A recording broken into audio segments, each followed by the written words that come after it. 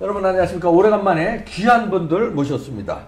이진복 전 의원님, 그다음에 박상헌 정치평론가 모셨습니다. 우리 박상헌 평론가야 뭐 TV조선에서 저거 아주 맹활약했던 분인데 한동안 안 보이고 그래서 반갑고요. 이진복 의원님은 저거 처음 방송. 예, 아, 반갑습니다. 두 분 다 공교롭게 부산 출신. 그렇습니다. 아, 이진복 의원이 이 선배님이시죠? 한참 선배 그것도 한참까지 붙이고 그래. 한참입니다. 그저 사그리가 혹시 박상원 씨가 나이 들어 보이는 거예요? 우리 또 부산이 낳은 두 분이 아주 부산 분들 좋아하시겠습니다.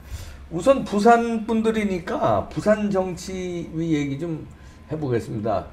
부산이 그 정치가 옛날서부터 그 파워가 셌어요. YS도 그렇고, 예, 뭐 김무성 얘기하기는 쉽- 싫지만 김무성도 그렇고 굵직굵직한 사람들이 부산 이기태, 박관용, 아유! 박순천 뭐 그렇죠? 그러네 박관영 국회의장 네, 또 이기태, 이기태 전 총재님, 예. 박순천 우리 여성 어, 지도자죠. 그렇고. 예. 또 가면서 부산이 나온 또 정치 스타들 또 누가 있을까요? 많을 텐데. 노무현, 문재인, 안철수 아이 그게 이상한 사람들 대부분 해. 뭐 좋아하든 싫어하든 그, 그러네. 그 대통령이고? 어떻든 아, 노무현, 문재인, 역대 안철수 국회의장이 세 분이나 나왔죠. 박관용, 김형우, 그러니까 정의와. 예. 대통령도 많이 나고 YS서부터 YS 노무현 그다음에 문재인 그렇죠. 그다음에 국회의장이 몇 분이야? 세 분. 박 세 분. 야, 그 정치적인 그 말하자면 그 저 핫플레이스네 부산이. 왜 그 정치 기질이 있습니까? 부산 사나이들의 어떤 뭐 특징이 있어요? 많이 있죠. 어, 아. 뭐 4.19도 물론 마찬가지지만은 어. 부마 항쟁이라든지 부마 항쟁 그렇지. 뭐, 그 대통령직 선대 개헌 서명 운동 같은 것도 부산이 거의 주도적으로 했어요. 그렇지. 아. 사실은 5.18은 그 이후에 일어났지만은 부산이 결정적인 순간에 국가의 어떤 정치적 이슈를 최종적으로 정리했던 곳이다. 그렇게 많은 현대 정치인들은 그렇게 이야기. 그리고 이제 시민운동 같은 것도 부산발이 이제 많았고 또 셌고. 네. 근데 부산 분들의 그 기질 같은 게 좀 이렇게 뭐 다혈질이라고 그러나 그런 게 있나? 이 정치학. 지명 지명 이름을 보면 우리 옛날 선조들의 지혜가 깜짝깜짝 놀랄 때가 있습니까? 부산이 이 부자가 무슨 부자인 줄 무슨? 부자예요? 가마솥 부자입니다. 가마솥. 아 그래요? 그거 몰랐네. 네, 가마솥이니까 음. 우리가 국밥을 끓일 때 가마솥에서는 소고기도 들어가고 무도 네. 들어가고 그러니까 멜팅 스팟이라고. 다 넣어서 팔팔 끓이지 않습니까? 아. 그러니까 부산의 역사는 부산은 경상도이긴 하지만 독특한 경상. 또 다르구나. 6.25 때 북한 분들 많이 내려오셨죠. 그렇지. 그 다음에 아마 호남 분들도 많아. 한 20, 20% 가까이 사시죠. 음, 한때 뭐 20% 했죠. 근데 네. 뭐 요즘은 뭐 교화가 많이 됐으니까 뭐 그런 프로테이지는 잘 안 따르죠. 뭐 하여튼 그렇지. 그 다음에 뭐 이 경남 쪽, 대구, 경북 쪽, 호남 쪽, 충청도, 그러니까 이게 멜팅 팟이구나. 네, 제가 학교 다닐 때, 그러니까 고향이 부산이라는 사람이 요 이진복 우리 선배님은 고향이 부산이잖아요. 부산이시고. 예, 태어났을 때. 아, 이제 이런 경우가 예외적 경우입니다. 그래? 네. 난 부산 가면 다 부산 사람 같은데. 아니 뭐 부산에서 초등고등학교 나왔지만 어. 아버지 할아버지로 올라가 보면 다 어디서가 어디선가로부터 온 사람들이죠. 어, 박상병 평 저는 아, 박상훈 경북? 경북 청도죠 원래 뿌리가. 청도에서 부산으로 간 거구나. 그게 대구에서 쭉 이제 아버지. 자라다가 저는 이제 저희 집이 부산으로 와서 저는 부산에서 쭉 학교를 어. 음. 나왔죠. 그러니까 저 같은 경우가 프람 어디가 많죠. 프람 어디. 아 프람 어디가? 그렇죠. 그러니까 그러니까 이제 가마솥이라는 게 음. 아 부산이 굉장히 좀 가마솥 이니까 아. 뭐 뭐 이북 분들, 호남 분들, 충청도 분들, TK 뭐 서부 경남 뭐 이렇게 이렇게 이제 모여서 예. 사는 특징이 하나 있고 그래서 이제 좀, 좀 다혈질인가? 그래서? 그러니까 뜨겁고? 이제 에, 이렇게 이종들이 결합해서 살기 때문에 음. 내가 필요한 걸 직접 앞으로 언어가 다 다르니까 아. 내가 라면을 먹고 싶다라고 바로 얘기를 해야지 뭐- 이렇게 애들르면 아, 못 알아듣는 그렇죠. 요즘 부산 어. 사람들 이제 정신을 이야기할 때 사직 야구장 이야기를 많이 해요. 아. 사직 야구장에 가서 야구 응원하는 걸 보면 네. 조금 이상한 사람들 같아요. 아. 아주 열정적이고 그러게. 드라마틱하고 뭐 세계 최고의 그 노래방이라고 이름이 붙은 이유도 네. 아마 그런 데서 붙었을 거예요. 아. 그 야구장 안에서 응원하는 모습을 보면 다들 한 이상 정신이 조금씩 이상해진 사람들 아. 같은데 끝마치고 나서 자기 생활로 복귀하는 것이 음. 지극히 자, 자연스러워요. 그래서 그 부분에 대한 어떤 뭐 네. 그 저 뭐 문제가 될 만한 것들도 네. 다 녹아내는 그런 걸 보면서 부산 사람들 열정이 있는 거 아니냐. 그리고 부산이 바다가 있으니까 사실 우리 근대화 하면서 음.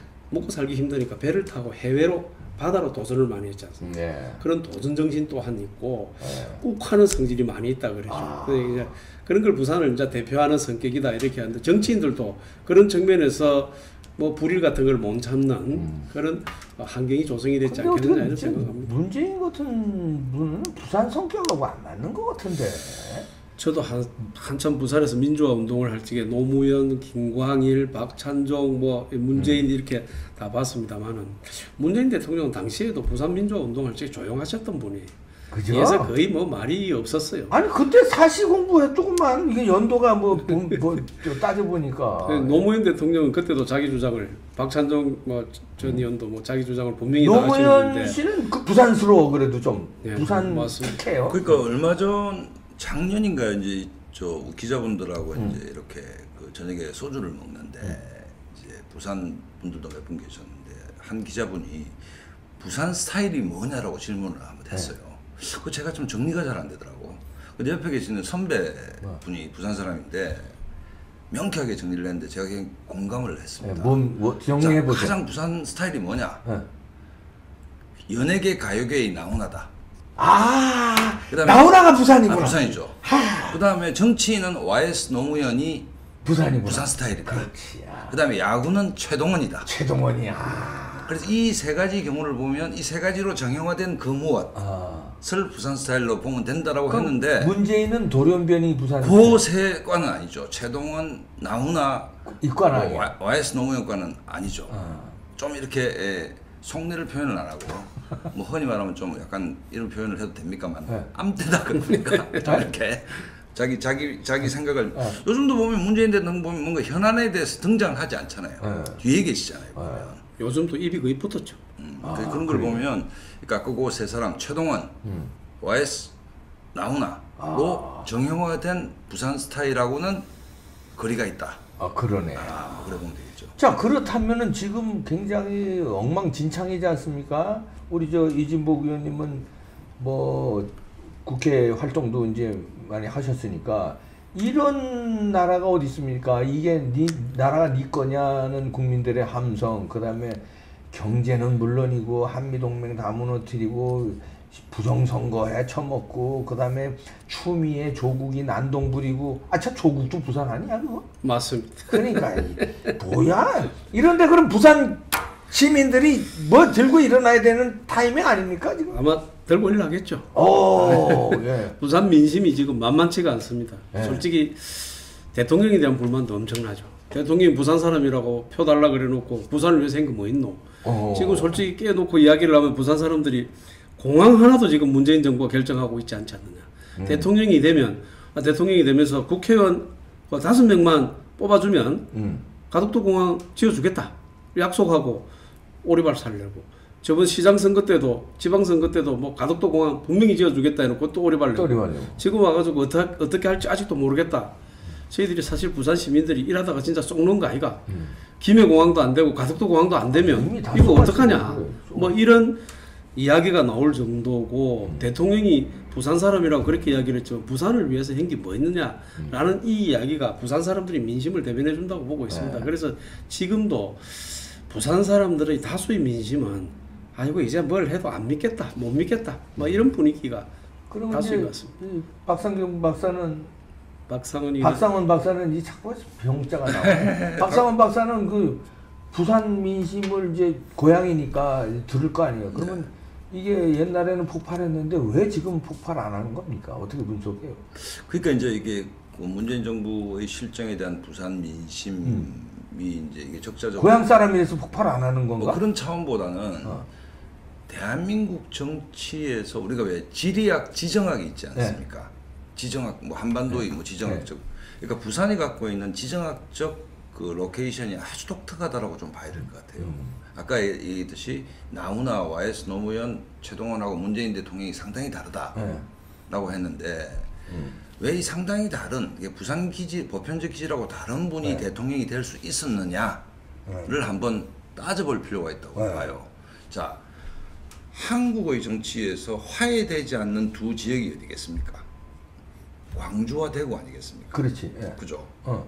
그러니까 뭐 옳든 그러든 어떻- 차지하더라도 광주와 대구는 화해 불가능합니다. 음.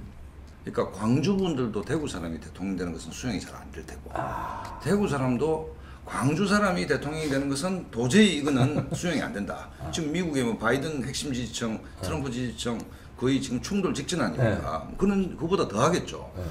그런데 그 부산. 중간에 위치가 딱 있는 게 부산입니다. 아 위치적으로 PK 죠. 그러네. 이렇게 대구하고 이쪽 광주에서 이렇게 그러니까 보면. 부산을 중심에 놓고 보면 왼손은 광주를 쥐고 있고 음. 오른손은 대구를 쥐고 있는 형국이죠. 어. 왜 호남 부산에 호남분도 많이 살고 많이 살고 또. 음. 그, 또 그다음에 부산은 사실은 대구보다는 지역색이 약합니다. 어릴 때부터 뭐다 있었게 살았으니까. 그렇지. 그렇게- 멜팅팟이니까. 네, 그러니까 그러니까 이제 부산이 갖고 있는 지정학이라는 것은 음. 기본적으로 왼손으로는 이 바다를 등지고 왼손으로는 호남을 잡고 오른손으로는 대구를 음. 대구를 잡고. 호남 사람들 입장에서는 요번에 뭐 이낙연 대표가 어떻게 될지는 봐야겠습니다만 DJ 정도의 세계에 나올까 말까 걸출한 인물도 그 JP 손잡고 박태준 손잡고 반집이겠지 않습니까? 그렇지. 그러니까 독자적으로 집권 가능한 것가에 대해서 불안할 수밖에 없죠. 대구 손은 너무 멀리 있고, 그러니까 부산의 양자를 입양을 하는 방식으로 우리 우회 상정한다는 얘기 아니습니까? 부산을 양자로 삼은 거네. 호남. 노무현도 그렇고 호남- 문재인도 그렇고 이 노무현 문재인은 사실은 부산에서 마이너 그룹 네. 을 양자로 택해서 호남 정권이 들어오게 되는 그러니까 아. 호남 정권이 이 코스피에 음. 바로 상장이 힘드니 예. M&A를 해서 아. 백도어 상장을 하는 뭐 이런 케이스라고 저는 보거든요. 그러면 부산 진짜 토백이들은 이- 우리 이진복 의원은 토백이시잖아요. 토백이들 입장에서는 야 우리가 양자가 이거 뭐 우리가 무슨 뭐 들러리 서, 서준기가 뭐 이렇게 나올 수도 있네요. 뭐 이용을 당한 거가 뭐 이런 거. 시민마다 느낌은 다르겠습니다만은 저는 이제 노무현 문재인으로 그 라인은 끝나는 거 아닌가 싶은 생각이 듭니다. 부산 사람들의 정서가 이제는 많이 이제 뒤틀어진 것 같고요. 아. 이분들하고 호흡을 같이 하기가 너무 이제 어려워졌다. 저도 최근에 뭐 부산시장 선거 관계 때문에 해서 이러쿵 저러쿵 사람들을 만나서 이야기를 들어보면 문재인 대통령을 사실은 도와주러 갔던 많은 사람들이 이제는 저 사람들인데 더 이상 기대할 것도 없고 정말 쏘갔다. 우리가 저 사람들인데 기대를 했던 자체가 잘못됐다. 이런 분들이 너무 많아졌어요. 예. 그러니까 이 민심이 이제 바뀌고 있다는 이야기죠. 예. 그것이 이번 총선에서 저는 나와줬다고 생각합니다. 어. 사실 저번보다도 민주당 의석이 세석 줄었거든요. 네. 보궐선까지 포함해서 얻었던 의석보다도 줄었는데 사실은 이번에 민주당이 세석 이긴 것도 거의 근소하게 이겼습니다. 그래서 향후에 어, 부산시장 보궐선거는 당연히 부산시 시장은 뭐- 어, 우리 당이 국민의힘이 이기지 않겠느냐라고 대중은 그렇게 보는 이유도 네. 아마 그런 데 따르는 그 실망감 음. 그리고 이 정부에 대한 뭐 상실감 등이 작용하고 있는 거 아닌가라고 보고 있기 때문에 아마 표로 심판이 되어지겠죠. 누가 부산시장 나오, 나옵니까 이번에? 지금 언론은 한 여덟 열 여덟 명에서 열 명쯤 이야기를 하고 있는데 네. 좀 있으면 자연적으로 뭐 줄어들겠죠. 네. 그래서 유력한 사람 우리 이진복 의원께서 생각할 때 누가 제일 유력합니까? 어, 이진복 의원이 제일 이진복. 어, 아, 부산시장 나가시요? 예. 어 나가죠? 예, 지금 준비를 열심히 오. 하고 있는 걸로 제가 알고 있습니다. 아니 그러면 우리 박 박사가 정치학 정치학 박사고 또이 네. 저 정치 평론가시니까 이진복 의원에 대해서 뭐 평가를 한다면 옆에 계시지만 옆에 있으니까 좋은 평가를 생각했는데 우리가 이제 이 우리 이진보 의원님을 제가 오래 어릴 때부터 그러니까 어. 그 김영삼 대통령 시절부터 제가 잘 아는 지역의 어. 예, 형님이죠. 아 그때부터 정치하신 건 아니시잖아. 그때부터 어, YS 때부터? YS 때부터 하셨죠. 오. 뭐 자, 잠시 이제 와- YS 때뭐 뭘 하셨어요? 제가 사실 정치를 하려고 한 건 아니고요. 음. 박정희 대통령 정부 시절 마지막에 네. 이기택 씨하고 양장우 씨하고 선거를 했어요. 아. 근데 제가 옆에서 보니까 이 선거가 공정한 선거가 아니더라고요. 어, 그러니까 젊은 헬기에 옳지 않다라고 이야기를 하게 된 것이 이제 이기택 전 총재나 박관영 의장님을 만나게 된 동기가 됐죠. 예. 그러다가 이기택 저전 총재가 가택 연금이 되고 음. 박관영 의장이 이제 국회에 출마하게 됐죠. 이게 11대 국회죠. 아. 음, 그때부터 제가 이제 옆에서 모시게 적극적으로 모시게 됐는데 예. 사실은 뭐 제가 정치를 할 만큼 잘난 사람도 아니고 뭐 훌륭한 사람도 아니고 똑똑한 사람도 아닌데? 예. 그때 정치를 하면서 보니까 자꾸 그때 야당 시절이었지 않습니까? 네. 그 어떤 속에 있던 것들이 밖으로 표출이 되기 시작을 하더라고요. 아. 그러면서 이제 두 분을 모시게 된 거고 와했을 때 청와대 가서 근무를 했죠. 그 네. 민정민원에서 근무를 하면서 참 많은 어려움들 음. 겪었죠. 지금도 생각하면 김영삼 대통령은 정말 훌륭한 대통령이에요. 많은 어떤 분들은 높이 평가하지 않는 분도 있지만은 음. 하나회라든지 우리가 금융실명제라든지 아, 이런. 것은 엄청난 큰 업적이거든요. 물론 뭐 어, 그때 아들 문제도 있고 해서 데미지를 상당히 당하긴 했습니다만 마지막 돌아가실 때까지 사실은 얼마나 깨끗한 정치인이었습니까? 음. 아마 지금 손명준 여사가 병중에 있는데 그 병원비가 없어가지고 집에서 간호를 할 정도로 아. 그리고 그때 많은 분들이 성금을 걷어서라도 좀 도, 도, 도우려고 했지만 대통령께서 그 반대를 하셨거든요. 예. 저는 김영삼 대통령은 참 그래도 뭐 배를 가지고 있고 고기를 잡고 이런 사업을 하는 아버지 있었, 있었기 때문에 어렵지 않다라고 했는지 모르겠지만은 제가 보기에는 그 양반 참 검소하게 살은 분이에요. 예. 마지막까지 참 그런 것들 없이 이때까지 역대 대통령들 전부 그런 부분들에 대해서 뭐 문제 없었던 사람 어디 있었어요. 네. 근데 그런 문제가 없다는 것이 정말 자랑스럽기도 하고요. 음. 근데 어쨌든 그 우리가 정치를 하면서 저도 이래 간혹 느껴봅니다만은 김영삼 대통령 시절에 저희들도 많이 배웠고 그 이후에 저도 국 정당도 돼보고 국회의원도 돼봤지만은 지금 부산은 사실은 저희들 과거에 이 한국 정치를 리드하던 그런 정치적 리더가 있느냐 라는 부분에 대해서 우려들을 많이 하고 있죠. 그래서 저도 욕을 먹고 있는 중입니다. 아 그러네요. 진짜 그런 걸출한 사람. 예, 그게 저기 문재인이 다 망가뜨려서 이미지가 싹 간 것 같아요. 부산 사람들. 저쪽으로 좀간 것 같아요. 우리가 다시 뺏어와야 되겠죠. 그렇게. 네. 그 이진복 우리 전 의원님은 그 제가 뭐 저뿐만 아니라 주위에서 이제 저희 또래들 후배들하고 이제 뭐 우리가 소주 안주로 이제 선배들 품평을 하지 않습니까? 아. 뭐 이 형은 어떻고 저 형은 어떻고 아, 그렇지. 이렇게 얘기를 했을 그게 무서워. 네, 사실. 그러니까 그게 이제 여론이라고 네. 그러는데 그 이구동성을 하는 얘기가 이 형 이, 이 우리 이진복 의원의 가장 큰 특징은 우리가 이제 태어나면서부터 어떤 분이 얘기를 하는데 말을 먼저 배우지 않습니까? 네. 말을 말을 평생 배우고 또 말을 하고 살지 않습니까? 네. 근데 태어나면서부터 못 배우는 능력이 하나 있대 듣는 능력이래요. 음. 입이 열리고 이 입을 통해서 말하는 것은 배우는데 귀가 잘안 열린답니다. 딴 사람 얘기를 들을 줄 아는 어. 능력이라는 것은 그러니까 듣는 능력이 음. 힘든 능력이라는 거죠 사실은. 어. 저도 뭐 나이 들어가면서 느끼는데 근데 이진복 의원은 잘 듣습니다. 잘 듣습니다. 그게 최강. 예, 그러니까 다, 다들 그 다음에 잘 듣는다는 것은 겸손하다는 얘기겠죠. 그 다음에 당직이나 우리 당에서 일을 해보면 요즘은 자기 홍보의 시대 아닙니까? 음. 요 유튜브도 하고 네. 막또 심지어 노이즈 마케팅 정도 나 여기 살아 있다라고 얘기해야 네. 인지도가 올라가는데 사실 뭐 그런 분도 필요하겠지만 이 방송을 하기 위해서도 이 음. 네. 방송을 연출해주는 스태프들이 있을 거 아닙니까? 누군가가 실제적인 일을 해야 되는데 음. 지금까지 정치 역정에 아마 초선이 될 때도 음. 그때 공천 탈락하셨죠. 아 공천 아니 탈락한 게 공천 신청을 할 수 없었죠. 그냥 무소속으로 국회의원 아, 무소속으로? 예. 어이구. 그 친박연대 친박 연대라는 이름이 그때 아, 있었는데 그래서 예, 친박연대로 하여튼 무소속으로 당선되신 분이요. 그러니까 아, 그래서 하여튼 그게 너무 또 여기서 칭찬해주면 또이 시청자분들이. 아니 그러니까 뭐 칭찬해야 되니까 근데 어쨌든 이게 그좀 이렇게 본인을 마케팅하는 것보다 팀 자체가 아. 이 성과를 내는 쪽에 좀 주력을 이번 총선도 뭘 또 하셨거든요. 어. 뭐 하셨습니까? 총괄본부장을 했죠. 예. 부산 총괄. 아니 아니 전국. 전국. 당 총괄본부장을 아, 했는데 당 총괄본부. 사실 저는 불출마 선언을 하고 나서 이제 음. 여의도 정치를 안 하겠다고 생각을 하고 불출마를 했으니까 조용히 이제 봉사를 하고 살아야 되겠다라고 생각하고 봉사 스케줄을 많이 짜는데 코로나 때문에 할 수가 없었죠. 아. 그러던 중에 이제 한교안 대표가 이 전국의 후보들 지원을 해야 되는데 음. 이거를 아는 사람이 없다. 네. 그러니까 국실장들하고 의논해 보니까 당신을 모두 다 추천을 하는데 좀 와서 도와달라 그래서가 사실은 뭐 동력이 다 떨어져서 좀 하기가 어렵습니다라고 말씀을 드렸더만은 도와주는 일이니까 좀 해주면 안 되겠냐 그래서 아이고 내가 당에 그동안에 입은 성은도 있고 한데 선당우사 정신으로 이분까지 도와주고 그냥 여의도를 떠나야 되겠다 생각하고 뭐 열심히 했었죠. 아 그랬군요. 네. 어, 요즘은 이제 방송 활동도 뭐 TV 조선에서 하시고 계시는데 음, 부산은 이제 노무현 문재인으로 어, 부산 거물들은 끝났고 앞으로 그쪽은 이제 어, 민심이 이제 부산 민심은 돌아섰다. 이제 곧 폭발할 것이다. 이렇게 정리를 하겠습니다.